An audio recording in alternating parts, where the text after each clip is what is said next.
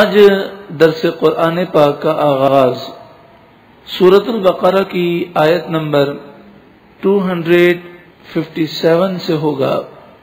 اللہ رب العالمین ارشاد فرماتا ہے، اللہ ولی الذین آمنوا یخرجهم من الظلمات الى النور۔ اللہ مومنوں کا والی ہے، دوست ہے۔ وہ مومنوں کو اندھیروں سے نکال کر نور کی طرف لے جاتا ہے۔ والذین کفروا اولیاؤہم الطاغوت یخرجونہم من النور الى الظلمات۔ اور کافروں کے دوست شیطان ہیں، جو ان کافروں کو نور سے دور کرتے ہیں اور اندھیروں کی طرف لے جاتے ہیں۔ شاید کریمہ میں اللہ نے اپنے فضل کا ذکر کیا۔ کہ مومنوں پر اللہ کا فضل ہے، اس کی رحمت ہے، اس کا کرم ہے، کہ انہیں اندھیروں سے وہ نکالتا ہے اور نور کی طرف لے جاتا ہے۔ لیکن سوال یہ پیدا ہوتا ہے کہ حقیقی طور پر نور دینے والا تو اللہ ہے، مگر ڈائریکٹ یہ نور اللہ سے کیسے حاصل کیا جائے؟ تو خود قرآن نے اس کا جواب دیا۔ سور ابراہیم آیت نمبر ایک۔ الف لام غو کتاب انزلناه الیک لتخرج الناس من الظلمات الى النور بإذن ربهم الى صراط العزيز الحميد الف لام غو حروف مقطعات جن کے معنی اللہ جانتا ہے اور اللہ کی عطا سے رسول اللہ صلی اللہ علیہ وسلم جانتے ہیں۔ یہ کتاب ہم نے آپ کی طرف نازل کی تاکہ آپ لوگوں کو اپنے رب کے اذن سے اندھیروں سے نکال کر نور کی طرف لے جائیں یعنی عزیز حمید رب کی راہ کی طرف لے جائیں۔ تو حقیقی طور پر نور دینے والا اللہ ہے۔ اور اس نور کو دینے کے واسطہ ہیں، جس کے وسیلے سے حاصل ہوتا ہے، وہ رسول اللہ صلی اللہ علیہ وآلہ وسلم کی ذات بابرکت ہے۔ حضور صلی اللہ علیہ وآلہ وسلم کے واسطے کے بغیر، آپ کے وسیلے کے بغیر اللہ رب العالمین تک انسان نہیں پہنچ سکتا اور وہ اللہ کا قرب حاصل نہیں کر سکتا۔ سورہ جمعہ آیت نمبر دو اور تین میں اشاد ہے۔ والذی باث فی الامیین رسولا منہم وہی رب ہے جس نے امیوں میں، انہی میں سے رسول بھیجا۔ یتلو علیہم آیاتی ہی وہ رسول ان پر اللہ کی آیتیں پڑھ کر سناتے ہیں۔ وہ اور یہ رسول انہیں ستھرا اور پاک کرتے ہیں۔ وَيُعَلِّمُهُمُ الْكِتَابَ وَالْحِكْمَةِ اور یہ رسول انہیں کتاب اور حکمت سکھاتے ہیں۔ وَإِن كَانُوا مِن قَبْلُ لَفِي ضَلَالٍ مُبِينٍ۔ اور اس نبی کی آمد سے پہلے بے شک وہ ضرور کھلی گمراہی میں تھے۔ یہ رسول یزکیہم، انہیں پاک کرتے ہیں یعنی نور دیتے ہیں۔ دینے والا نور حقیقی طور پر اللہ ہے اور آقید جہاں صلی اللہ علیہ وسلم اس نور کے پہنچانے کا ذریعہ اور وسیلہ ہے۔ وہ آخرین منہم لما یلحقو اور قیامت تک آنے والوں کو رسول اللہ پاک اور ستھرا فرماتے ہیں۔ تو قیامت تک جسے نور ملا وہ رسول اللہ صلی اللہ علیہ وسلم کے ذریعے اور وسیلے سے ملا۔ یہ نور کا جو سلسلہ ہے، رسول اللہ صلی اللہ علیہ وآلہ وسلم کے ذریعے جو رب کا قرب مل رہا ہے، یہ سلسلہ صحابہ اور اہل بیت اطہار میں منتقل ہوا۔ پھر اولیاء کاملین اس سلسلے کو بڑھاتے رہے، آگے پھیلاتے رہے۔ یہاں تک کہ جب حضور غوث اعظم شیخ عبد القادر جیلانی علیہ رحمہ کی آمد ہوئی اور آپ قطبیت عظما کے مقام پر فائز ہوئے، آپ غوث الثقلین بنے۔ تو اللہ تبارک و تعالی نے آپ کو وہ مقام عطا فرمایا کہ اب قیامت تک جسے بھی فیض ملے گا، فیض تو رسول اللہ کا ہے، لیکن اسے یہ فیض حضور غوث اعظم کے دربار سے ملے گا۔ جو ولی اب قیامت تک ہوگا وہ وہی ہوگا جس کے دل میں حضور غوث اعظم کی محبت ہوگی۔ حضور غوث اعظم کے در سے ولایت کا صدقہ نصیب ہوتا ہے اور یہ تا قیامت یہ سلسلہ جاری و ساری رہے گا۔ خود حضور غوث اعظم فرماتے ہیں، الانسان لهم مشائق والجن لهم مشائق والملائکت لهم مشائق انسان میں بھی پیر ہیں، جنات میں بھی پیر ہیں۔ فرشتوں میں بھی سردار ہیں وہ انا شیخ الکلی اور میں سب کا سردار ہوں۔ مجدد الف ثانی علیہ رحمہ اپنے مکتوبات شریف میں لکھتے ہیں، ولایت اور قرب کا خصوصی اور مرکزی مقام، اہل بیت کے آئمہ سے منتقل ہو کر، جب شیخ عبد القادر جیلانی کے حوالے ہوا، تو یہ مقام آپ سے مختص ہو گیا۔ اب اس راہ قرب و ولایت میں اقتاب اور نجبا اور تمام ولی، تمام ولیوں کو آپ ہی سے فیض حاصل ہوتا ہے، کیونکہ یہ مرکز آپ کے سوا کسی کو میسر نہیں ہوا۔ یعنی اب جب کسی کو فیض ملتا ہے، تو وہ آپ ہی کی وساطت سے اور آپ ہی سے ہو کر اسے نصیب ہوتا ہے۔ خود حضور غوث اعظم رضی اللہ تعالیٰ عنہ، آپ تحدیث نعمت کے طور پر اللہ کی اس نعمت کا ذکر فرماتے ہیں اور فرماتے ہیں، افلت شموس الاولین و شمسنا ابدن علی افق العلا لا تغربو۔ تمام اگلوں کے، تمام پچھلوں کے سورج غروب ہو گئے اور میرا سورج ہمیشہ روشن رہے گا، وہ کبھی غروب نہیں ہوگا۔ حضور غوث اعظم رضی اللہ تعالیٰ عنہ جو واز کی محفلیں آپ سجاتے اور جو کلمات آپ اپنی واز کی محفل میں اشاد فرماتے، آج ہمارا موضوع وہ کلمات ہیں۔ لیکن ابتدائی طور پر چند باتیں سماعت فرمائیں کہ حضور غوث اعظم رضی اللہ تعالیٰ کی ولادت صبح گیلان میں ہوئی۔ یہ ایران میں ہے اور ایران کا جو کیپٹل ہے تہران، تو یہ تہران سے تقریباً تین سو پچیس کلو دور ہے۔ گیلان کا دارالحکومت رشت ہے اور رشت کے قریب بشتیر ایک آبادی ہے۔ وہاں پر حضور غوث اعظم رضی اللہ تعالیٰ کی ولادت ہوئی۔ گیلان کو عربی میں جیلان کہتے ہیں۔ اسی اعتبار سے حضور غوث اعظم کو جیلانی کہتے ہیں۔ آپ کا سن ولادت ہے چار سو ستر ہجری۔ اور اگر عیسوی سن کے اعتبار سے دیکھیں تو ایک ہزار اٹھتر عیسوی۔ آپ اپنی والدہ کی طرف سے حسینی سید ہیں۔ یعنی آپ کے نانا حضرت عبداللہ سومئی رحمت اللہ تعالی علیہ امام حسین کی اولاد میں سے ہیں۔ آپ کی والدہ سیدہ ام الخیر امت الجبار فاطمہ رحمت اللہ تعالی علیہ آپ کا مزار گیلان کے صوبے کے دارالحکومت رش کے ایک مضافاتی علاقے سو معاشرہ میں ہے اور وہاں اس علاقے میں سیدہ نسا کے نام سے آپ کا مزار اقدس مشہور و معروف ہے۔ آپ کے والد حضرت ابو صالح موسا جن کا لقب جنگی دوست ہے۔ آپ کے والد حسنی سید ہیں یعنی امام حسن کی اولاد سے ہیں۔ تو حضور غوث اعظم رضی اللہ تعالیٰ عنہ والد کی طرف سے حسنی سید ہیں اور والدہ کی طرف سے حسینی سید ہیں۔ حضور غوث اعظم کی پھوپھی حضرت عائشہ بنت سید عبداللہ بن یحییٰ رحمت اللہ کی تعالی علیہ صاحب کرامات ولیہ گزری ہیں۔ حضور غوث اعظم رضی اللہ تعالیٰ کی کنیت ابو محمد ہے۔ حضور غوث اعظم رضی اللہ تعالیٰ نے چار نکاح فرمائے، مگر یہ نکاح ایک ساتھ نہ تھے۔ مختلف مواقع پر جو اپنے پوری زندگی، پوری حیات طیبہ میں نکاح فرمایا، ان کی تعداد چار ہے۔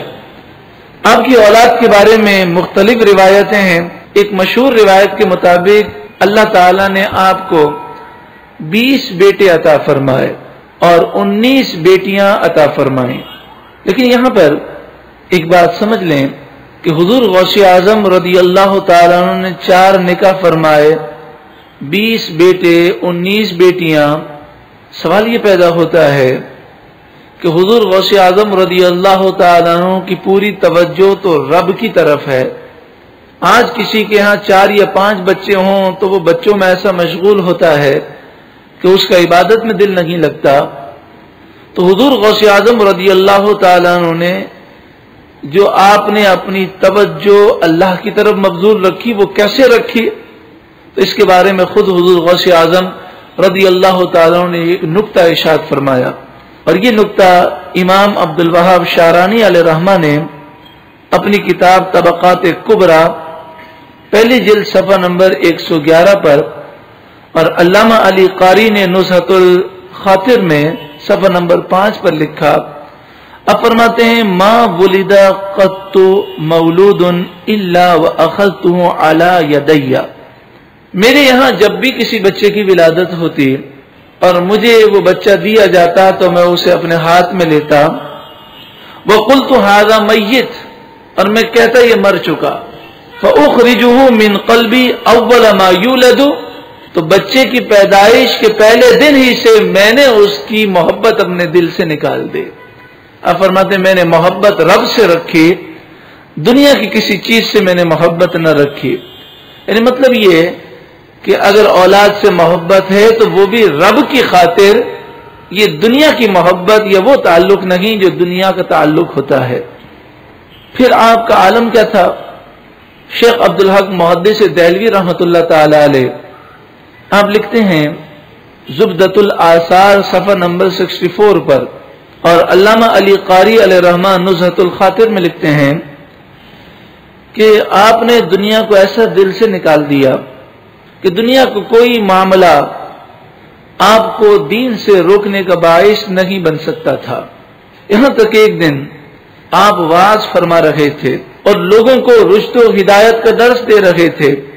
کوئی شخص آیا۔ اور اس نے آپ کو اطلاع دی کہ آپ کے بیٹے کا انتقال ہو گیا۔ تجہیز و تکفین کی لوگ تیاری کرتے رہے۔ یہاں تک کہ جب جنازہ تیار ہو گیا، تو آپ کے بیٹے کا جنازہ آپ کی مجلس میں لایا گیا۔ آپ کا واز جاری تھا۔ جب جنازہ قریب آ گیا، تو آپ نے واز کو موقوف کیا۔ نیچے اتر کر نماز جنازہ ادا فرمائی۔ آپ اس فلسفے پر بالکل کاربن تھے کہ جان، مال، اولاد کچھ بھی اپنا نہیں، سب کچھ اللہ تعالی کی طرف سے ہے۔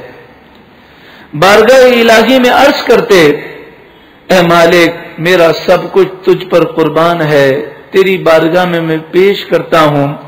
یا ربی کئی فا اہدی الیک روحی، وقد صح بالبرهان ان الكل لك آپ کہتے اے مالک، میں اپنی روح بھی تیری بارگاہ میں پیش کرتا ہوں.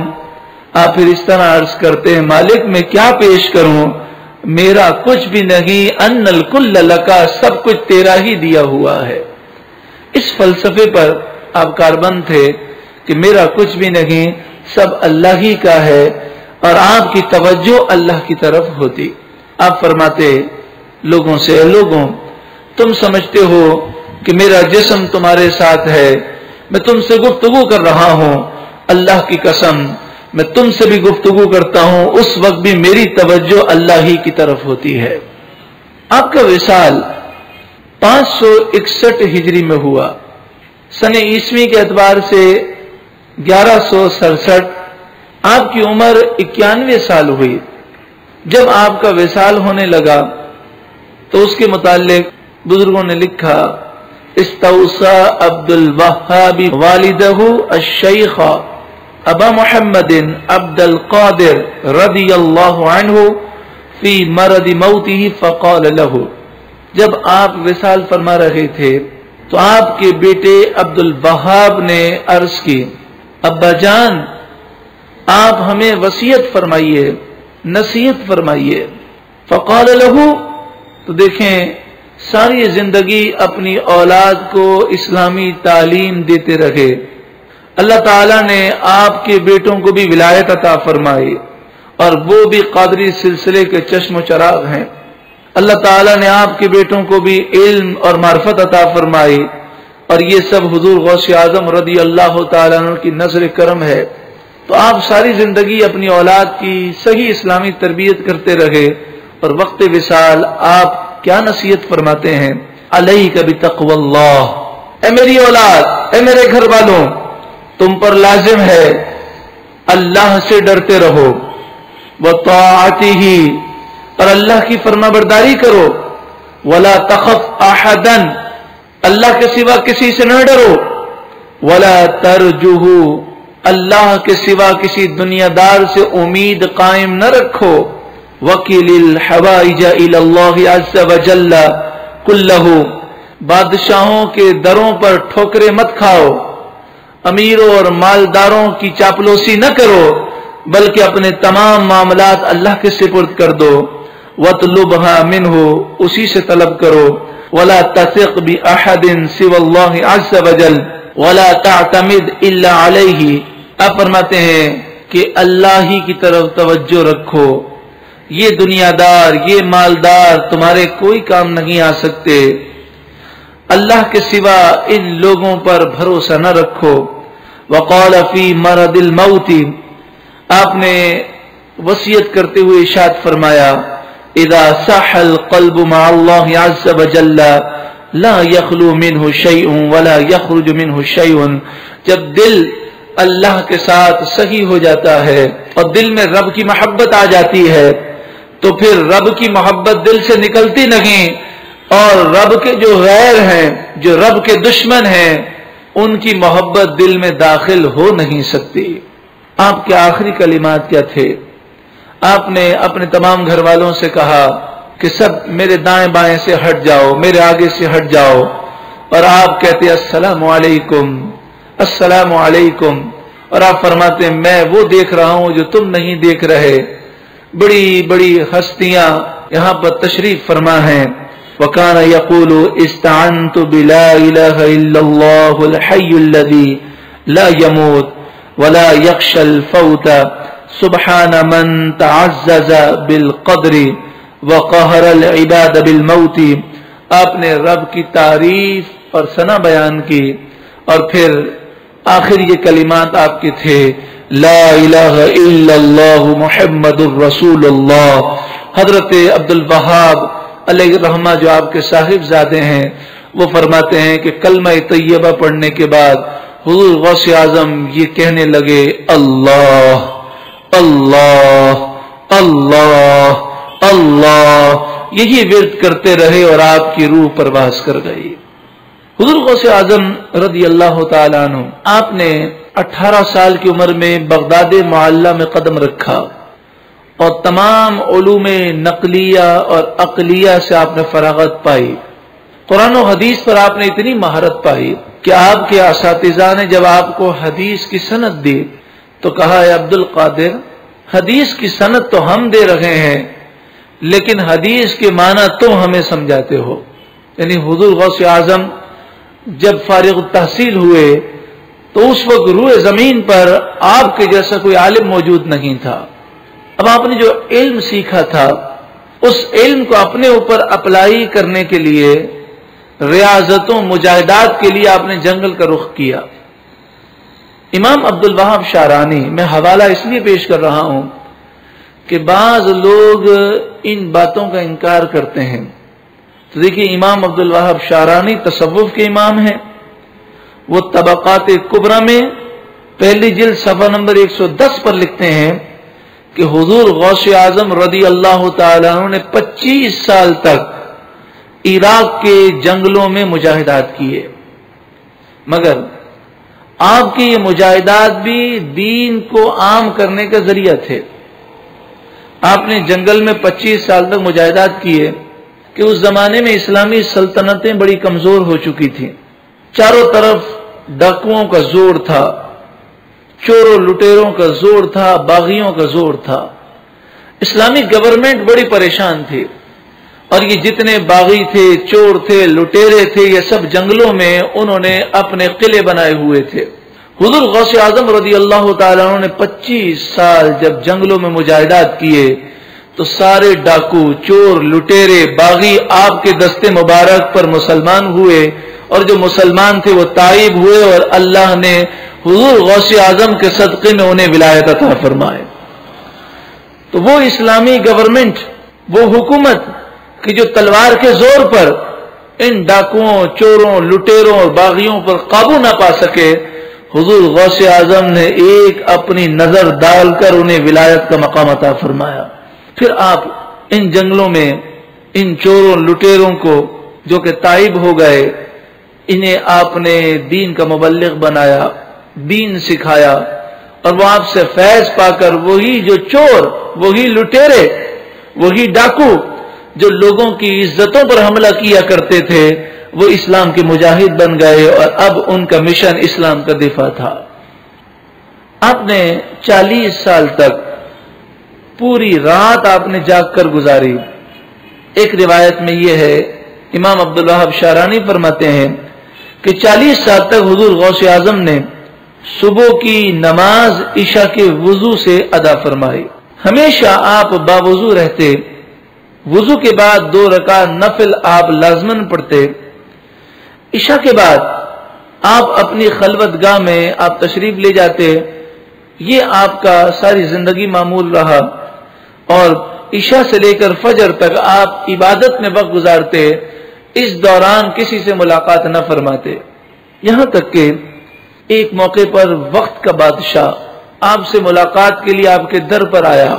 پوری رات یا آپ کے در پر بیٹھا رہا، لیکن آپ سے اسے ملاقات کا شرف نہ ملا۔ فجر کی نماز کے لیے جب آپ باہر نکلے تو آپ نے اس سے ملاقات کی۔ شیخ عبد الحق محدث دہلوی رحمت اللہ تعالی علیہ اخبار الاخیار میں آپ لکھتے ہیں کہ حضور غوث اعظم رضی اللہ تعالیٰ نے پندرہ سال ایسے گزارے کہ پوری رات میں ایک رکت میں پورا قرآن ختم کیا کرتے بعض اوقات آپ فرماتے ہیں، چالیس دن تک مجھے کچھ کھانے کو میسر نہ آتا۔ گیارہ سال تک برج بغداد میں آپ نے عبادت کی۔ وہ برج جو ہے آپ کی عبادت کی وجہ سے برج اجمی کے نام سے مشہور ہو گیا کہ حضور غوث اعظم عربی نہیں تھے، اجمی تھے۔ امام عبد الوہاب شارانی آپ طبقات قبرہ میں لکھتے ہیں کہ اس زمانے ریاضت میں جب آپ جنگل میں ریاضت مجاہدات کر رہے تھے، ایک بار ایسا بھی ہوا کہ آپ ننگے پاؤں صحرا میں جنگل میں پھر رہے تھے، پاؤں میں کانٹے چپ گئے۔ سورج کی گرمی اور موسم کی شدت سے بے نیاز ہو کر عبادت میں مگن تھے کہ آپ بے ہوش ہو گئے۔ مانا یہ ہے کہ حضور غوث اعظم رضی اللہ تعالیٰ عنہ یہ فلسفہ دے رہے ہیں کہ انسان کی بات کا اثر اس وقت ہوتا ہے جب وہ خود بعمل ہوتا ہے۔ تو آپ نے پہلے قرآن و حدیث کی باتوں کو خود اپنے اوپر ریاضت و مجاہدات کے ذریعے اپنے اوپر اپلائی کیا اور کئی سال اس طرح گزارے۔ آپ تو مادر ذات ولی ہیں، پیدا ہوتے ہی ولی ہیں، ماں کے پیٹ سے ولی ہیں، لیکن آپ نے ہمیں یہ درس دیا۔ آج ہماری زبانوں میں جو اثر نہیں ہے، اس کی سب سے بڑی وجہ یہ کہ ہم گناگار سیاکار ہیں۔ حضور غوث اعظم رضی اللہ تعالیٰ عنہ کا ذکر خیر جاری ہے۔ دعا فرمائیں کہ اللہ تعالیٰ حضور غوث اعظم کے صدقے میں ہمیں بعمل بنا دے اور ہماری زبانوں میں بھی اثر عطا فرمائے۔ جب ریاضت و مجاہدات سے فارغ ہوئے تو پھر آپ نے درس اور تدریس کا سلسلہ شروع کیا۔ آپ کا انداز یہ تھا کہ پوری رات اللہ کی عبادت کرتے اور پورا دن درس و تدریس فرماتے۔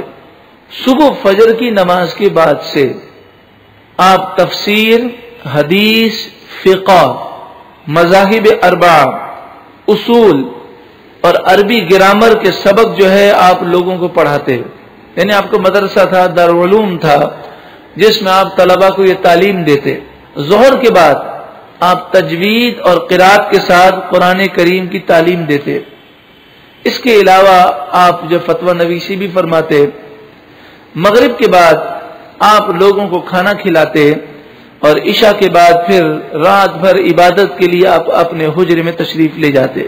خود آپ فرماتے ہیں یعنی یہ آپ چوبیس گھنٹے عبادت اور علم کا جو مشغلہ ہے، صبح سے لے کر رات تک جو پڑھنا پڑھانا جو سلسلہ تھا، اسی کے متعلق حضور غوث اعظم فرماتے ہیں، درست العلم حتی صرت قطبا ونلت السعد من مول الموالی فرماتے ہیں کہ میں علم کا درس دیتا رہا یہاں تک کہ اللہ نے مجھے قطبیت عظما کے مقام پر فائز کر دیا۔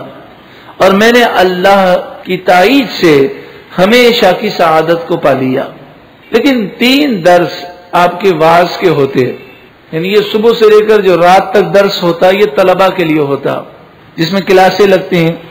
کسی کو آپ جو ہے تفسیر پڑھاتے، کسی کو فقہ پڑھاتے، کسی کو حدیث پڑھاتے۔ اور آپ تمام علوم کے مدرس تھے۔ اس کے علاوہ آپ تین دن لوگوں کے لیے واز کی محفل سجاتے۔ اور یہ تین دن میں سے ایک تو جمعے کے دن فجر کی نماز کے بعد آپ واز فرماتے۔ دوسرا واز ہوتا منگل کو شام کو، منگل کی شام۔ اور تیسرا واز آپ کا ہوتا اتوار کو فجر کی نماز کے بعد۔ ان واز کے لیے باہر تشریف لے جاتے۔ یا جمعے کی نماز پڑھنے کے لیے باہر تشریف لے جاتے باقی پورا ہفتہ آپ اپنے مدرسے میں ہی ہوتے وہیں جماعت کا اہتمام ہوتا اور وہاں پر مسجد موجود تھی اب اسی مسجد میں پنج وقتہ نماز جو ہے با جماعت ادا فرماتے اور پورا دن اور رات آپ اپنے مدرسے میں گزارتے صرف جمعے کے دن اور واس کے لیے آپ باہر تشریف لے جاتے ابتدا میں آپ فرماتے ہیں کہ جب میں نے واس شروع کیا تو ابتدا میں دو افراد ہوتے تھے یا تین افراد ہوتے تھے، لیکن میں واز دیتا رہا دیتا رہا، اور پھر اتنا بڑا اجتماع ہوا، اتنا ہجوم ہو گیا کہ جگہ جو ہے وہ تنگ پڑ گئی۔ پھر میں نے عیدگاہ میں خطاب کرنا شروع کیا۔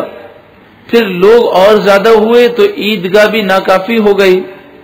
تو پھر شہر سے باہر کھلے میدان میں اجتماع ہوا۔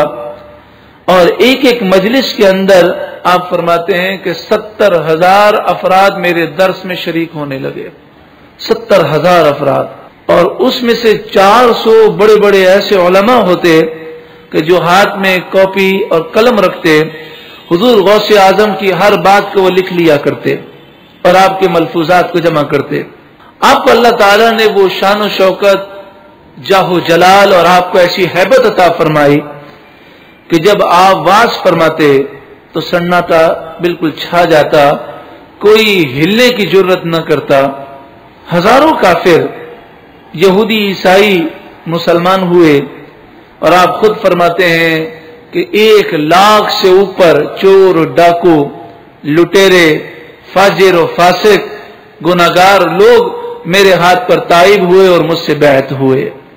ہر مجلس میں کئی گناگار توبہ کر لیتے اور کئی کافر مسلمان ہو جاتے اور بسا اوقات کئی لوگوں کی روح نکل جاتی، آپ کی ہر مجلس میں کسی نہ کسی کا جنازہ اٹھتا، خوف خدا سے اس کی جان نکل جاتی۔ عموماً آپ عربی میں واز فرماتے اور کبھی کبھی فارسی میں بھی فرماتے۔ اسی لیے آپ کو ذل بیانین کہتے ہیں۔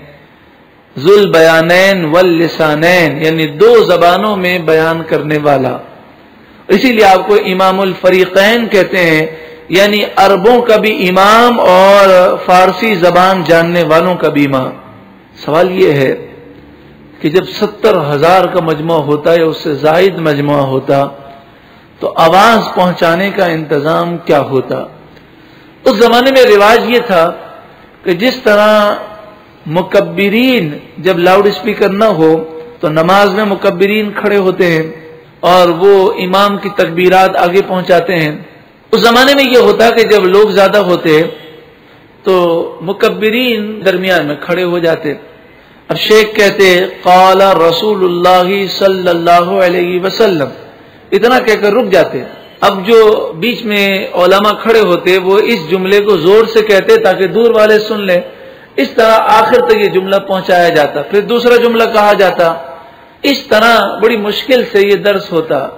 لیکن حضور غوث اعظم رضی اللہ تعالیٰ کی یہ کرامت تھی کہ آپ ستر ہزار سے زائد کے مجمع میں اس طرح خطاب کرتے کہ جیسا پہلا شخص آپ کے خطاب کو سنتا، ویسا ہی آخری شخص آپ کے خطاب کو سنتا۔ کسی اسپیکر کی یا کسی شخص کو کھڑا کرنے کی ضرورت نہ تھی۔ اور پھر صرف یہی نہیں کہ آپ کی مجمع میں جو ہوتے وہ سنتے، بلکہ پوری دنیا میں جو اولیاء موجود ہوتے، وہ اپنے مریدین کو اپنی خانقاہ میں، اپنے مدرسے میں جمع کر لیتے، اپنی مسجدوں میں جمع کر لیتے، اور وہاں پر ڈائریکٹ حضور غوث اعظم کا بیان ریلے کیا جاتا اور سب وہاں پر وہ سن لیتے۔ یعنی حضور غوث اعظم کی آواز وہاں تک بھی پہنچ جاتی۔ یہ کرامت ہے اور ان اللہ علیہ کل شعین قدیر، بے شک اللہ ہر چاہت پر قادر ہے، وہ اپنے نیک بندوں کو جو چاہے مقام عطا فرمائے۔ حضور غوث اعظم رضی اللہ تعالیٰ عنہ کے واز میں یہ تاثیر کیسے آئی؟ یوں تو آپ ولیوں کے سردار ہیں، یوں تو آپ غوث الثقلین ہیں، حسنی حسینی سید ہیں، لیکن یہ تو آپ بات جانتے ہی ہیں کہ جس کو فیض ملا رسول اللہ کے در سے ملا۔ تو حضور غوث اعظم کو یہ فیض آپ کی زبان کی جو تاثیر کا فیض ہے، یہ بھی رسول اللہ کے در سے ملا صلی اللہ علیہ وسلم۔ حضور غوث اعظم خود فرماتے ہیں، ایک دن دوران واز آپ نے فرمایا کہ مجھے رسول اللہ صلی اللہ علیہ وسلم کی زیارت ہوئی۔ تو آپ نے فرمایا، بیٹے، تم خطاب کیوں نہیں کرتے؟ یہ اس وقت کی بات ہے جب حضور غوث اعظم بیان اور واز نہیں فرمایا کرتے تھے۔ تو آپ نے فرمایا، بیٹے تم خطاب کیوں نہیں کرتے؟ میں نے عرض کیا، میں اجمی ہوں، عربی نہیں ہوں، بغداد کے فسحا کے سامنے اپنی زبان کیسے کھولوں؟ تو حضور صلی اللہ علیہ وسلم نے مجھے فرمایا، قریب آؤ۔ میں پیارے آقا کے بالکل قریب پہنچا۔ تو حضور صلی اللہ علیہ وسلم نے فرمایا، اپنا منہ کھول دو۔ میں نے اپنا منہ کھول دیا۔ تو حضور غوث اعظم فرماتے ہیں کہ رسول اللہ صلی اللہ علیہ وسلم نے اپنا لعب دہن مبارک میرے منہ میں ڈال دیا۔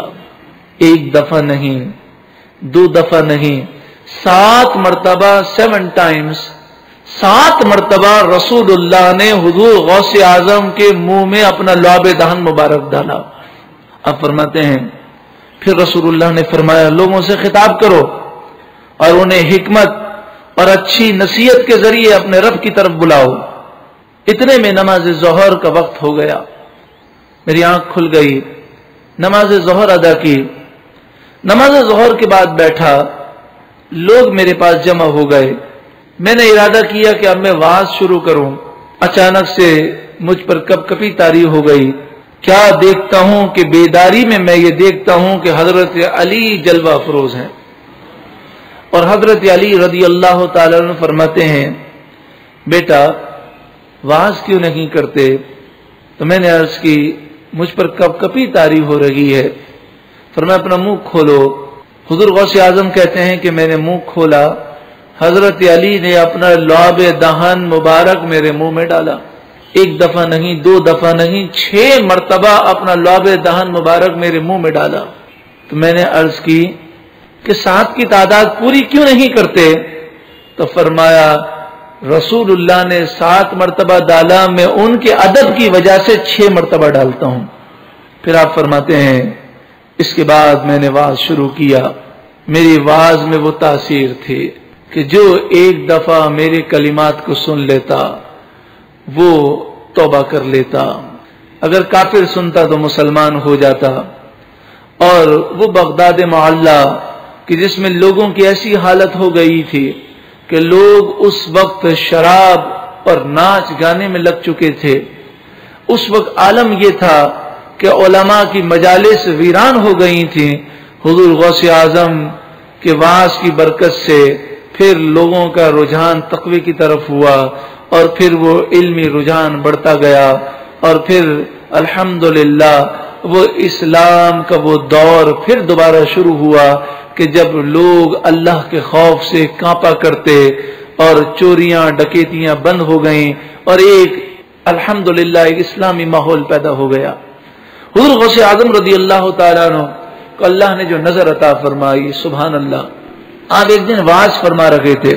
دوران بعض آپ کے ایک مرید، شیخ علی بن ہئی دوران باز اونگنے لگے اور انہیں اونگ آ گئی۔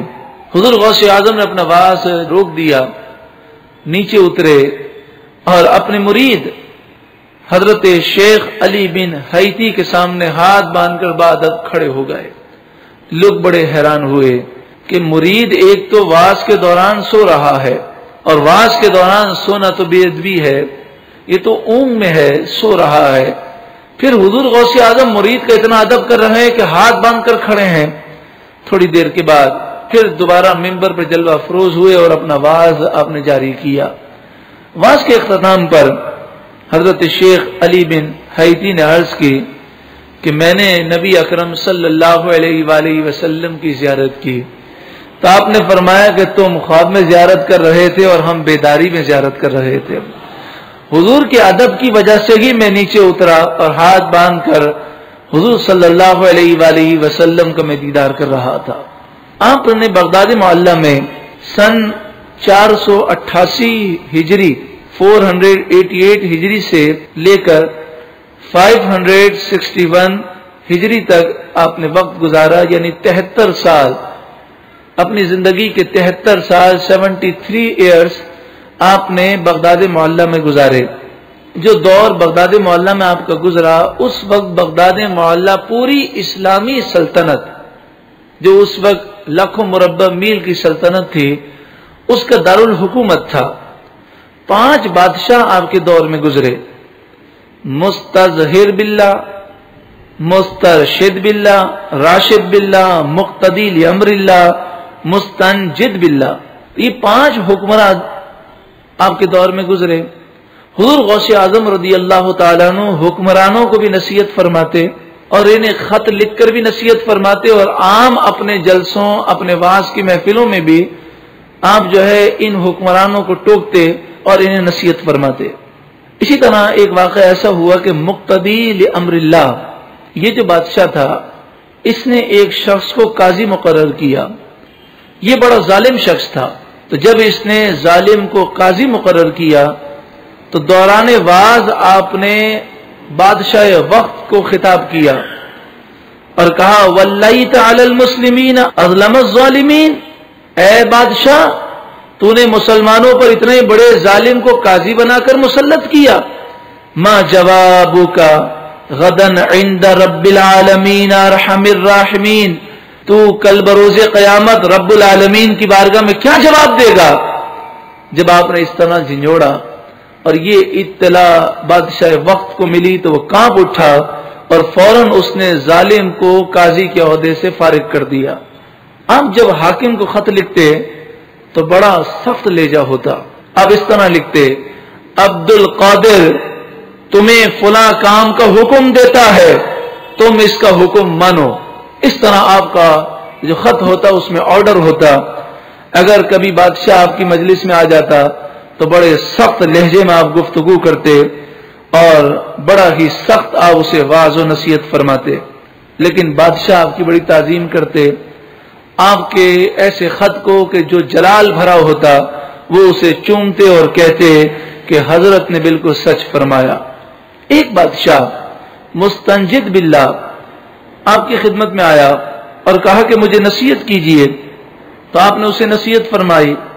پھر اس نے دس سونے کی اشرفیوں سے بھری ہوئی تھیلیاں آپ کو دی تو آپ نے کہا، مجھے ضرورت نہیں، بہت زیادہ اصرار کیا۔ تو آپ نے جو سونے کی اشرفیوں سے بھری ہوئی جو دو تھیلیاں تھیں، ان کو آپ نے اپنے ہاتھوں میں لیا اور اسے نچوڑا۔ جب اسے نچوڑا تو اسے خون بہنے لگا۔ آپ نے فرمایا بادشاہ تمہیں اللہ سے شرم نہیں آتی؟ لوگوں کا خون جمع کر کے میرے پاس لے آئے ہو؟ یہ سن کر وہ بے ہوش ہو گیا۔ اسی طرح ایک موقع پر یہی بادشاہ حضور غوث اعظم کی خدمت میں آیا اور کہنے لگا، مجھے کوئی کرامت دکھائیے۔ آپ نے فرمایا، کیا دیکھنا چاہتے ہو؟ تو کہنے لگا کہ اس وقت سیب کا موسم نہیں، میں سیب کھانا چاہتا ہوں۔ تو آپ نے اپنا ہاتھ بلند کیا، دو سیب آپ کے ہاتھ میں آ گئے۔ آپ نے ایک سیب اس بادشاہ کو دیا اور ایک آپ نے خود تناول فرمایا۔ جب آپ نے خود تناول فرمایا تو اس کی خوشبو اتنی تھی کہ پوری جگہ جو ہے اس سیب کی خوشبو سے مہکنے لگی۔ بڑا خوشبودار ذائقے دار سیب تھا۔ اور بادشاہ نے جب سیب کھانے کی کوشش کی تو اس میں کیڑے تھے۔ تو بادشاہ کہنے لگا، یہ کیا؟ آپ کے ہاتھ میں دو سیب آئے۔ ایک سیب جو ہے اس میں کیڑے اور ایک اتنا خوشبودار تو آپ نے فرمایا دونوں سیب خوشبودار تھے۔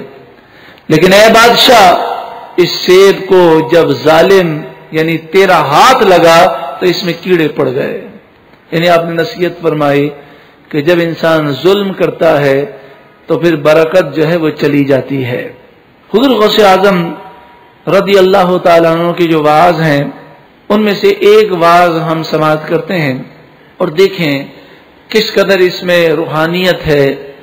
اور کیسا آپ لوگوں کو جھنجھوڑتے ہیں۔ یہ واز الفتح الربانی میں ہے۔ فتح الربانی ایک کتاب ہے جس میں آپ کے واز جمع کیے گئے۔ اس کی جو مجلس اول ہے، اس پر تاریخ بھی لکھی ہے کہ یہ واز حضور غوث اعظم نے اپنے وصال سے تقریباً سولہ سال پہلے فرمایا۔ پانچ سو پینتالیس ہجری۔ اتوار کی صبح فجر کی نماز کے بعد یہ آپ کا واز ہوا۔ اور اس وقت تین شوال المکرم تھی یہ واز سننے کا طریقہ یہ ہے کہ آپ تصور کیجیے کہ خانقاہ شریف میں حضور غوث اعظم واز فرما رہے ہوں گے۔ اتوار کی فجر کی نماز کے بعد تین شوال المکرم کیا سہانا وقت ہوگا؟ ہزاروں لوگ جمع ہو کر آپ کا واز سن رہے ہوں گے۔ کیا وہ لمحات ہوں گے؟ کیا وہ کیفیات ہوں گی؟ کتنے وہ خوش نصیب ہوں گے؟ یہ وہ واز ہیں کہ جنہوں نے لوگوں کی دلی دنیا کو ظاہر اور باطن کو بدل کر رکھ دیا۔ ہم تصور میں ڈوب جائیں اور حضور غوث اعظم رضی اللہ تعالی سے استعانت طلب کریں یعنی مدد طلب کریں استعانت لیں اور عرض کریں، یا غوث اعظم، آپ نے اپنے واز کے ذریعے چوروں کو قطب بنا دیا، ڈاکوؤں کو ولی بنا دیا۔ ہم بھی آپ کے دربار میں حاضر ہیں۔ اور آپ کا واز سن رہے ہیں، آپ ہم سب پر ایسا کرم کریں کہ ہمارا ظاہر و باطن روشن و منور ہو جائے۔ ہماری ساری دل کی گندگی دور ہو جائے اور ہمیں بھی رب کا قرب نصیب ہو جائے۔ تو آپ نے اشاد فرمایا ون تبھی لہو اے لوگوں، جاگ جاؤ۔ ولا تفالو عنہ اور اللہ کے معاملات میں غفلت نہ کرو۔ لہ یقون انتباہ بعد الموت۔ جلدی جاگ جاؤ۔ ایسا نہ ہو کہ موت کے بعد تم جاگو۔ فَإِنَّهُ لَا يَنفَعُكُمُ الْإِنْتِبَاهُ فِي ذَلِكَ الْوَقْتِ۔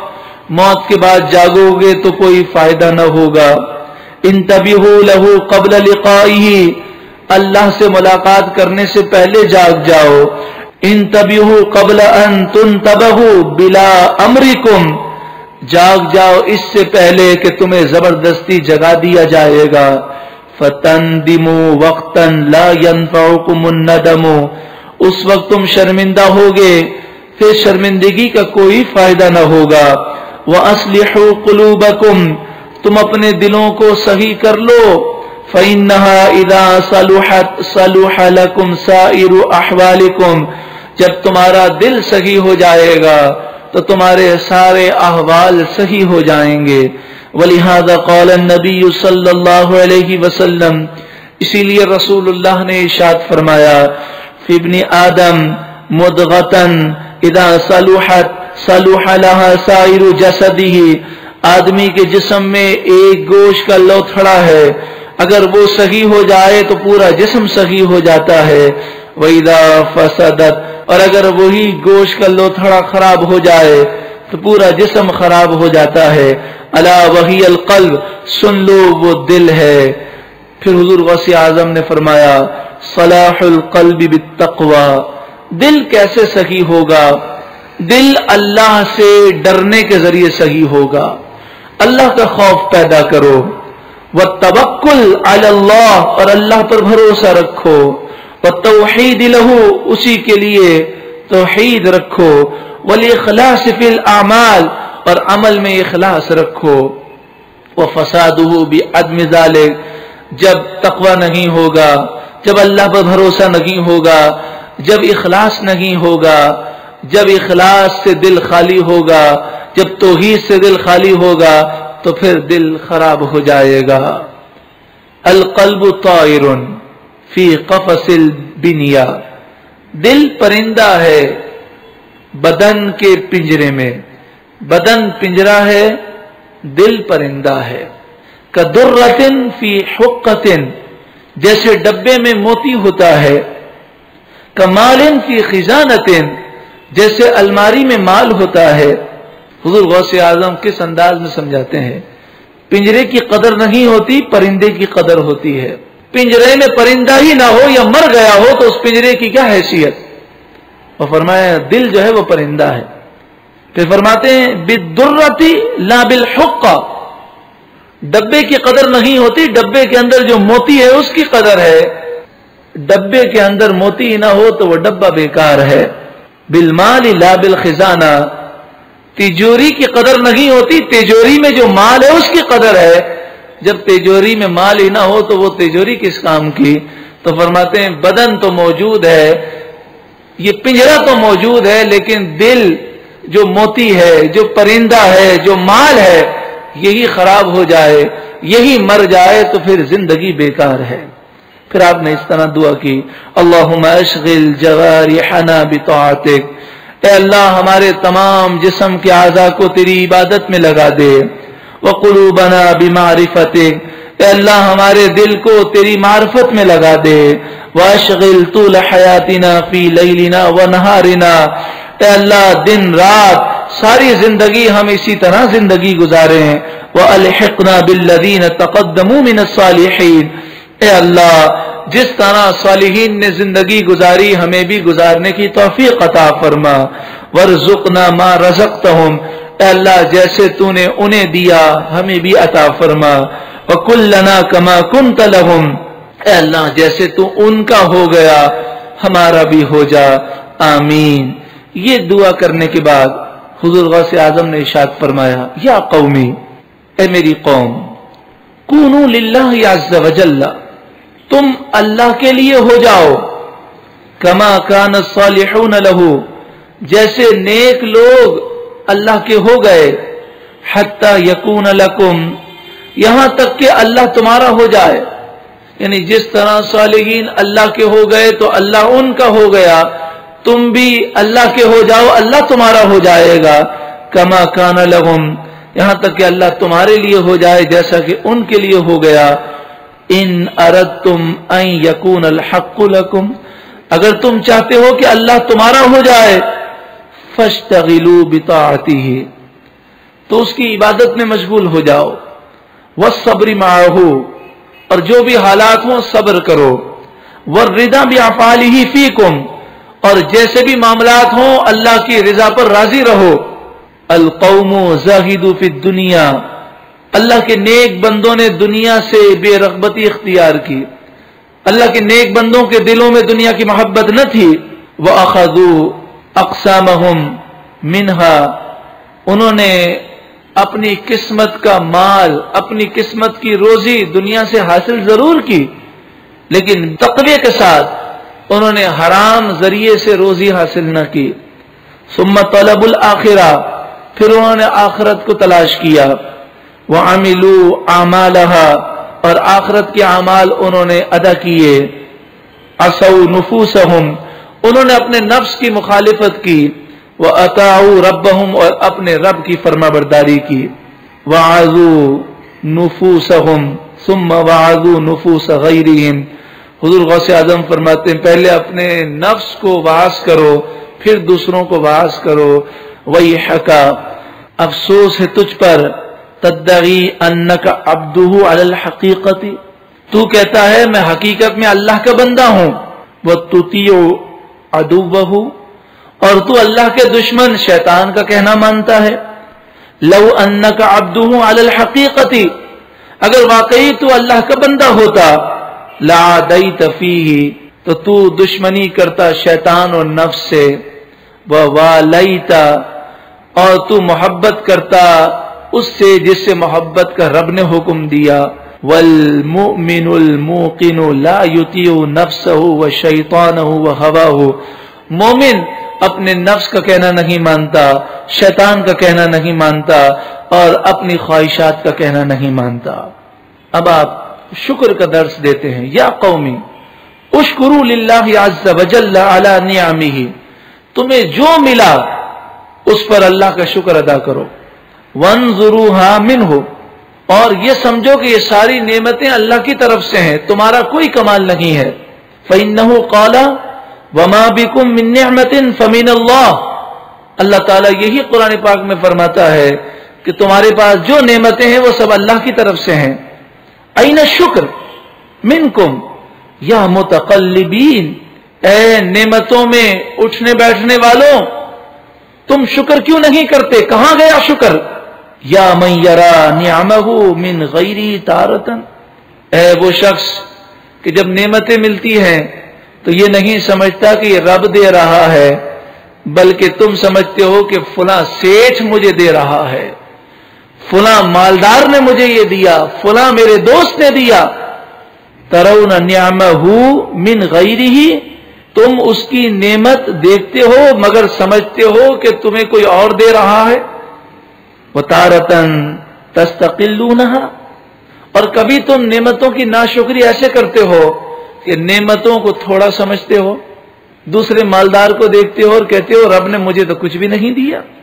وہ تن تزیرون الا ماں لائسا جو نعمتیں تمہارے پاس نہیں، ان کی طرف نظر کرتے ہو۔ وہ تارتن تستعی نون علامہ اور کبھی تم ان نعمتوں کے ذریعے گناہ کرتے ہو، اور جو نعمتوں کو گناہ میں استعمال کرے، وہ نہ شکرا ہے۔ آپ دیکھ لیجیے کہ جتنی دولت زیادہ ہوگی اتنے ہی بندہ گناہ زیادہ کرتا ہے۔ شادی کے موقع پر اگر کروڑ پتی کے یہاں شادی ہوگی تو اس کے یہاں گناہ زیادہ ہوں گے۔ اور ارب پتی کے یہاں شادی ہوگی تو اور زیادہ گناہ ہوں گے۔ آپ فرماتے ہیں، یا غلامی اے میرے بیٹے، لا یقون ہم کا ماتا کلو وما تشرب وما تلبس وما تن وما تسکر وما تجمع۔ ہر وقت اسی کی فکر مت کیا کر۔ کیا کھاؤں گا، کیا پیوں گا، کیا پہنوں گا، کہاں رہوں گا۔ انہی چکروں میں زندگی برباد نہ کر۔ قدر ان قد بقی من عمری کا حاضل یوم لمبی امید نہ کر۔ بس یہ سمجھ کہ تیری زندگی کا آج آخری دن ہے۔ فحسب تہیا للآخرہ۔ بس اب تو آخرت کی تیاری کر۔ وہ تحدف لمجیم ملک الموت، اور ملک الموت کے استقبال کے لیے تیار ہو جا، یہ تیری زندگی کا آخری دن تصور کر، یا غلامی۔ ما خلقتا للبقائی فی الدنیا والتمتع فیہا، اللہ نے تجھے دنیا جمع کرنے کے لیے پیدا نہیں کیا۔ علیکم بلزوم المساجد وہ کثرت علی النبی صلی اللہ علیہ وسلم۔ اگر تو کامیابی چاہتا ہے تو نمازوں کی پابندی کر۔ اگر تو کامیابی چاہتا ہے، تو نمازوں میں سستی نہ کر اور کثرت سے رسول اللہ پر درود و سلام پیش کیا کر۔ کہ حضور غوث اعظم فرماتے ہیں، اگر زندگی میں کامیابی چاہتا ہے، تو نمازوں کی پابندی کر اور درود پاک کی کثرت کر۔ درود پاک کی کثرت کس قدر اہمیت کی حامل ہے کہ حضور غوث اعظم دو چیزوں کو نجات کا باعث قرار دے رہے ہیں۔ آپ اشاد فرماتے ہیں وہی حق لسانوں کا مسلم وہ ام قلب کا فلا افسوس ہے تجھ پر، تیری زبان تو مسلمان ہے، لیکن تیرا دل حقیقی مسلمان نہیں۔ قولو کا مسلم، اما فیلو کا فلا۔ افسوس ہے تجھ پر کہ تیری باتیں تو مسلمانوں جیسی ہیں، لیکن تیرا کام مسلمانوں جیسا نہیں۔ انت فی جلوتی کا مسلم، اما فی خلوتی کا فلا۔ تو لوگوں کے سامنے تو مسلمان بن کر رہتا ہے، لیکن جب تو تنا ہوتا ہے تو تیری حرکتیں مسلمانوں جیسی نہیں ہوتی۔ افرغ قلب کا من حموم دنیا دنیا کی فکروں سے اپنے دل کو پاک کر لے، کیونکہ دنیا وہی ملے گی جتنی لکھی ہے۔ فعن کا ماخوب منہا ان قریب ان قریب، تو اس دنیا سے جانے والا ہے۔ لا تطلب طیبت العیش فیہا، دنیا کے عیش کو طلب نہ کر۔ فما یقو بیدک، یہ کبھی تیرے ہاتھ میں نہیں آئے گا۔ قال النبی صلی اللہ علیہ وسلم، رسول اللہ نے فرمایا، العیش عیش الآخرہ حقیقی سکون تو آخرت کا سکون ہے۔ قصر عمل کا اپنی خواہشات کم کر دے۔ وقد جا کا زہد فی دنیا جب تیری خواہشات کم ہو جائیں گی تو دنیا میں بے رغبتی پیدا ہوگی۔ لأن الزہد کلہ قصر العمل۔ دنیا سے بے رغبتی پیدا کرنا ہو تو امیدیں کم کر دو۔ احجر اقران سو اب یہ دنیا کی محبت کیسے پیدا ہوتی ہے؟ برے دوستوں سے۔ تو حضور غوث آدم فرماتے ہیں، برے دوستوں کو چھوڑ دے۔ وقت مبدت بینک و تو ان سے دوستی بالکل محبت ختم کر دے۔ وہ واصلہ بینک و بین الصالحین نیک لوگوں سے محبت پیدا کر۔ وحجر القریب من کا اذا کان من اقران السوء۔ اگر تیرا قریبی رشتہ دار بد عقیدہ ہو، ایسا برا شخص ہو کہ جو تجھے گمراہ کر دے گا، تو اس سے بھی دور بھاگ۔ واصل البعید من کا اذا کان من اقران الخیر، اور اگر کوئی مشرق میں رہتا ہو اور تو مغرب میں ہو، اور اگر وہ نیک شخص ہے، تو اس سے محبت کو اپنے دل میں پیدا کر۔ ان نبی صلی اللہ علیہ وسلم۔ آپ ارشاد فرماتے ہیں کہ نبی اکرم صلی اللہ علیہ وآلہ وسلم سے روایت ہے۔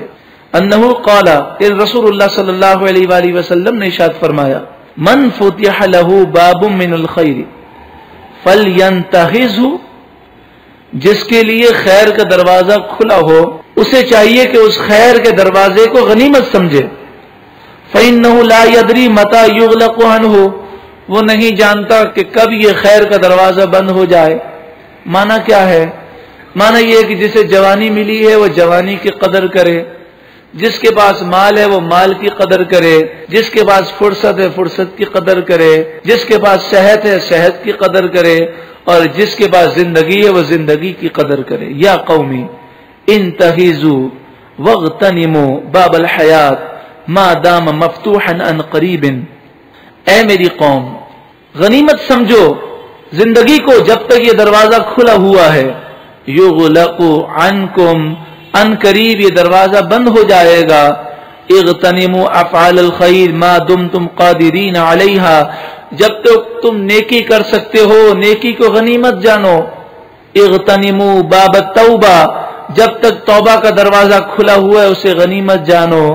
سچی پکی توبہ کر کے نیک بن جاؤ۔ یا غلامی لا تکسل۔ اے میرے بیٹے، کاہلی نہ کر۔ فَإِنَّ الْكَسْلَانَ يَكُونُ أَبَدًا مَحْرُومًا کہ جو سستی کرتا ہے، وہ ہمیشہ محروم رہتا ہے۔ پھر آپ یہ دعا کرتے ہیں، اللہم نبہنا من نوم الغافلین عنکا والجاہلین بکا۔ اے اللہ، تو ہمیں غفلت والی نیند سے بیدار کر دے اور ہماری جہالت کو دور کر دے۔ آپ پہلے قوم کو بیدار کرتے ہیں۔ اور پھر قوم کو یہ دعا سکھاتے ہیں کہ اے اللہ تو ہمیں غفلت والی نیند سے بیدار کر دے۔ محترم اور پیارے بھائیوں اور بہنوں، ہمیں بیدار ہو جانا چاہیے۔ ہم اپنے حال کو دیکھیں، اپنے گھر کو دیکھیں، اپنے ملک کو دیکھیں کہ دین سے دوری کی وجہ سے کس قدر تباہی آ چکی ہے۔ نہ ہماری ذات کے اندر سکون ہے، نہ گھر میں سکون ہے، نہ ملک میں سکون ہے۔ افراتفری ہے، یہ سب دین سے دوری کا باعث ہے۔ آپ دیکھیں کہ قرآن مجید فقان حمید اشاد فرماتا ہے، یا ایوہ الذین آمنوا قو انفسکم و اہلیکم نارا۔ اے ایمان والوں تم اپنے آپ کو بھی جہنم سے بچاؤ، اپنے گھر والوں کو بھی جہنم سے بچاؤ۔ تو ہم نے اپنے گھر والوں کو جہنم سے بچانے کی کیا کوشش کی؟ ہم دیکھیں کہ ہمارے بچے جن تعلیمی اداروں میں جا رہے ہیں انہیں جو تعلیم دی جا رہی ہے، کیا یہ تعلیم قرآن و حدیث کے مطابق ہے؟ ہمارے تعلیمی اداروں میں جو نصاب چل رہا ہے، یہ لارڈ میکالے کا بنایا ہوا ہے۔ اور لارڈ میکالے نے دو فروری اٹھارہ سو پینتیس عیسوی میں جو برطانیہ کی پارلیمنٹ سے خطاب کیا تھا، جو اس نے بکواس کی تھی، اس کا ذکر تاریخ میں ہے۔ اٹھارہ سو پینتیس میں یہ بات کہی تھی۔ معزز اراکین پارلیمنٹ، میں نے ہندوستان کے طول و عرض میں بار بار سفر کیا ہے۔ دنوں اور راتوں میں گھوما اور پھرا ہوں۔ میری آنکھیں آج تک ایسے شخص کو دیکھنے کے لیے ترستی ہیں جو یہاں بھکاری ہو یا جو لٹیرا ہو۔ یعنی ان اٹھارہ سو پینتیس میں پورے ہندوستان میں کوئی بھکاری نہیں ملتا تھا اور کوئی ڈاکو نہیں ملتا تھا۔ یہ مسلمانوں کا نظام حکومت تھا اور یہ تعلیمی نظام تھا۔ اس ملک میں ایسی دولت دیکھی ہے، ایسی بلند اخلاقی قدریں دیکھی ہیں اور اتنی بڑی ہستیوں سے ملا ہوں کہ مجھے پختہ یقین ہو گیا ہے کہ ہم کبھی اس ملک کو فتح نہیں کر سکیں گے۔ جب تک ہم اس قوم کی ریڑھ کی ہڈی کو نہ توڑ دیں۔ اس قوم کی ریڑھ کی ہڈی کیا ہے؟ یہ ان کا تعلیمی نظام ہے۔ یہی وجہ ہے کہ میں باواز بلند یہ تجویز پیش کرتا ہوں کہ ہم ان کا نظام تعلیم بدل کر رکھ دیں گے۔ دیکھنے میں یہ ہندوستانی ہوں گے، لیکن ان کے سینوں میں سفید فام انگریز کا دل دھڑکتا ہوگا۔ اس بدبخت نے اٹھارہ سو پینتیس میں یہ تعلیمی نظام بنایا، جو آج تک جاری و ساری ہے کہ بچہ اٹھارہ سال یا بیس سال تعلیمی اداروں میں گزار کر جب آتا ہے تو اسے نماز بھی صحیح طریقے سے نہیں آتی۔ اسے نماز جنازہ کے فرائض بھی معلوم نہیں ہوتے۔ یعنی اس تعلیمی نظام کے اندر دین کو نہیں سکھایا جاتا۔ اور اسی کے متعلق علامہ اقبال نے یہ بات کہی تھی کہ ایک انگریز نے اپنے بیٹے کو سمجھایا کہ بیٹا، اگر اس قوم پر یعنی مسلمانوں پر ہمیشہ تجھے حکومت کرنی ہے، تو تو کیا کر؟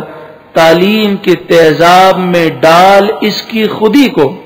یعنی اس میں جو اسلامی پاور ہے، روحانیت ہے، اس کو ختم کرنے کے لیے تعلیم کا تیزاب اوپر ڈال دے۔ تعلیم کے تیزاب میں ڈال اس کی خودی کو۔ ہو جائے ملائم تو جدھر چاہے اسے پھر تاثیر میں اکثیر سے بڑھ کر ہے یہ تیزاب۔ سونے کا ہمالا ہو تو مٹی کا ہے ایک ڈھیر۔ یعنی کہتا ہے کہ اگر سونا بھی ہو اور یہ تیزاب ڈال دیا جائے تو مٹی بن جاتا ہے۔ مطلب یہ کہ اگر غلط تعلیم کے ذریعے مسلمانوں کی روحانیت ختم کر دی تو یہ نام کے مسلمان ہوں گے۔ ان میں کوئی ولولہ و جوش نہیں ہوگا۔ تو آج ضرورت اس بات کی ہے کہ ہم اپنے تعلیمی نظام پر نظر کریں۔ الحمد چند دوستوں نے مل کر یہ کاوش کی ہے اور یقیناً یہ ہمارا بھی فرض بنتا ہے اور آپ کا بھی فرض بنتا ہے کہ امیر حمزہ اسلامک کالج کے لیے لوگوں کو تیار کریں، اپنے بچوں، اپنے رشتہ داروں، دوست احباب کے بچوں کا ذہن بنائیں کہ جو بچہ فرسٹ ایئر سے تعلیم اس طرح حاصل کرے کہ اسے قرآن کا ترجمہ بھی سکھایا جائے، احادیث طیبہ کا ترجمہ بھی سکھایا جائے، اسے عربی بولنا لکھنا بھی آئے، اور دنیاوی تعلیم بھی اعلیٰ معیار کی دی جائے، اور دنیاوی تعلیم اس انداز میں دی جائے کہ جو بات قرآن و حدیث کے خلاف ہے، اس کی نشاندہی کی جائے۔ تو یقیناً یہ بچہ چھ سال کے اندر جب وہ ایم کام کر کے نکلے گا تو امید ہے کہ وہ قرآن و حدیث کا عالم بھی ہوگا اور انشاءاللہ ایسا بچہ اپنے والدین کے لیے بلکہ اپنے خاندان کے لیے دنیا اور آخرت میں کامیابی کا باعث بنے گا۔ تو آپ تمام بھائیوں سے گزارش ہے کہ آپ اس کے لیے کوشش کریں۔ جو بھائی فارم حاصل کرنا چاہیں تو صبح نو بجے سے لے کر بارہ بجے تک باہر شریعت مسجد میں کمرہ نمبر چار سے آپ فارم حاصل کر سکتے ہیں۔ پھر آخر میں یہ عرض کروں گا کہ یہ ایک کاوش ہے، یہ کوشش ہے کہ ہم بھی اور ہماری اولاد بھی دنیاوی تعلیم کے ساتھ ساتھ قرآن و حدیث کی تعلیم سے روشناس ہو اور انگریزوں نے جس تعلیم کے تیزاب سے ہماری قوموں کو برباد کیا، اس تیزاب سے ہم دور ہوں اور امیر حمزہ اسلامک کالج میں ہم انشاءاللہ شاء اللہ اپنے بچوں کو بھی داخل کروائیں گے اور دوسروں کو بھی داخلے کی ترغیب دیں گے۔ کہہ دیجیے انشاءاللہ۔ جیسا کہ ہم سماعت کر رہے تھے کہ مسلمانوں کے دشمن اور انگریز کی یہی آرزو اور تمنا ہے کہ مسلمانوں کو تعلیمی طور پر وہ کمزور کر دے اور تعلیم کا معیار انگریز کے ہاتھ میں ہو تاکہ مسلمانوں کے بچے وہ ورگلا دیں، نوجوانوں میں زہر اڈیل دیں۔ تو ہم سب بھائیوں نے مل کر یہ کوشش کرنی ہے اور یہود اور نصارہ سے، اللہ تبارک و تعالی اس کے محبوب کے دشمنوں سے سب نے مل کر مقابلہ کرنا ہے۔ آئیے اپنی صلاحیتوں کو اجاگر کرتے ہوئے، اور جو اللہ نے آپ کو خوبیاں دی ہیں، ان خوبیوں کو استعمال کرتے ہوئے اس درد کو محسوس کیجیے۔ اس لیے کہ جب دین کی بات اور نصیحت کی بات ہو اور جب درد محسوس ہو تو اسے اپنی قسمت پر اللہ کا شکر ادا کرنا چاہیے کہ جسے اللہ تبارک و تعالی نے دین کے لیے درد عطا کیا ہے۔ یہی وجہ ہے کہ آج تک جو یہ کمی چلی آ رہی تھی، اس کمی کو دور کرنے کی ادنا سی کوشش ہے، لیکن جن پیاروں کے نام سے یہ منصوب ہے ان کی رحمتیں اور ان کے فیوز اور برکات انشاءاللہ شامل ہیں اور یہ پاکیزہ سفر ماحول کی چاہے آلودگی ہے، لیکن یہ انشاءاللہ پاکیزہ سفر ہوگا جو ابتدا میں ساتھ دیتا ہے۔ ہمیشہ کے لیے اس کے لیے ثواب جاریہ لکھ دیا جاتا ہے۔ آج اس مشن کی ابتدا ہے۔ آج اولین کوشش کی جا رہی ہے۔ آپ ضرور اس درد کو محسوس کیجیے۔ اپنے دل میں جگا دیجیے۔ کس طریقے سے یہود اور نصارہ مسلمانوں کو تباہ کرنے کے در پہ ہیں، تو اس کا علاج پھر یہی ہے کہ تعلیم کا معیار بھی بلند ہو۔ انہیں دنیاوی تعلیم بھی دی جائے۔ اور قرآن اور حدیث کا نور بھی ان کے سینوں میں روشن ہو جائے۔ اسی چیز کا نام امیر حمزہ اسلامک کالج ہے۔ انشاءاللہ فرسٹ ایئر کامرس اور قرآن اور حدیث درس نظامی کی تعلیم۔ یہ دونوں تعلیم جو ہیں، ایک ہی وقت میں دی جائیں گی۔ اور انشاءاللہ معیار اللہ تعالی کے فضل سے بلند ہوگا اور اللہ تبارک و تعالی اپنے محبوبین کے صدقے ہم سب کو شاندار کامیابی عطا فرمائے۔ جیسا کہ آپ جانتے ہیں کہ الحمدللہ درود پاک کا ٹوکن کا سلسلہ جاری اور ساری ہے اور درود پاک کی خدمت درود پاک پڑھنا اور دوسروں کو اس کی ترغیب دینا یہ وہ عظیم کام ہے جس کی برکت سے دنیا اور آخرت کے سارے کام سور جائیں گے۔ اس سلسلے میں ہمیں سستی نہیں کرنی چاہیے۔ ابتدا میں کوئی چیز ہوئی، جوش آیا، پھر ٹھنڈا ہو گیا۔ ہمیں یہ کوشش کرنی چاہیے کہ ہم دوسرے مسلمانوں کو درود پاک کے ٹوکن دیں۔ اور انہیں یہ بتا دیں کہ مثلا ٹوکن پہ لکھا ہوا ہے بیس ہزار درود پاک۔ ضروری نہیں ہے کہ آپ بیس ہزار ہی پڑھیں۔ آپ چاہے بیس درود پاک پڑھ دیں، کوئی مسئلہ نہیں۔ پیچھے آپ لکھ دیجیے کہ بیس پڑھے گئے ہیں۔ ٹوکن کا دینے کا مقصد یہ نہیں ہوتا کہ آپ پر واجب یا فرض ہو گیا ہے کہ اتنی تعداد آپ نے پڑھنی ہی ہے۔ صرف یہ ٹوکن تو رحمت الہی ہے۔ اس کے ذریعے سے انسان کو ایک بات یاد آتی رہتی ہے کہ مجھے درود پاک پڑھنا ہے اور درود پاک کی برکتیں حاصل کرنی ہے تو جن بھائیوں اور بہنوں کو ٹوکن نہیں ملے ہوں، وہ درود پاک کے ٹوکن ضرور لے لیجیے گا۔ اور جتنے آپ درود پاک پڑھیں، اتنے درود پاک آپ پیچھے لکھ دیجیے۔ اور اس کے ساتھ ساتھ جو آپ دعائیں کروانا چاہتے ہیں وہ دعائیں بھی اس میں لکھ دیں تاکہ آپ کے لیے اس دعا میں اجتماعی طور پر یہ دعا شامل ہو جائے۔ امید ہے کہ ہم سب مل کر درود پاک کی کثرت کریں گے، درود پاک پڑھیں گے بھی اور دوسروں کو بھی اس کی ترغیب دیں گے۔ اللہ تبارک و تعالی ہم تمام کو کثرت سے درود پاک پڑھنے اور دوسروں کو ترغیب دینے کی توفیق عطا فرمائے اور اللہ تعالی ہمیں ان لوگوں میں شامل کر دے کہ کم از کم پورے ماہ میں ایک قرآن ہم بھی ضرور ختم کر لیں۔ اللہ تعالیٰ ہم سب کو قرآن پاک سے حقیقی الفت، محبت عطا فرمائے۔ جزاکم اللہ خیر۔ وما علینا الا البلاغ۔